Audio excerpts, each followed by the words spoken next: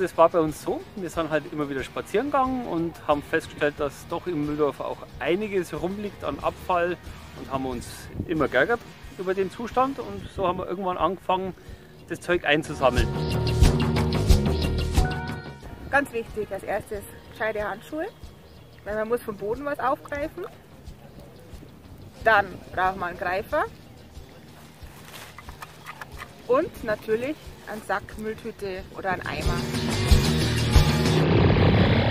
Ich hoffe, äh, dass wir nächstes Jahr äh, ganz viele fleißige, helfende Hände haben, äh, wo wir weiß ich, ein oder, alle zwei Monate unterwegs sind in größeren Gruppen.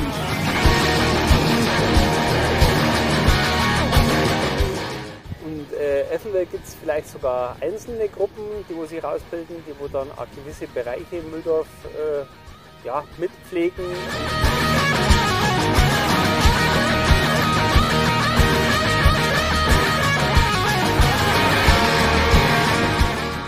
Der perfekte Blocker ist äh, leicht zu beantworten. Den gibt es faktisch nicht.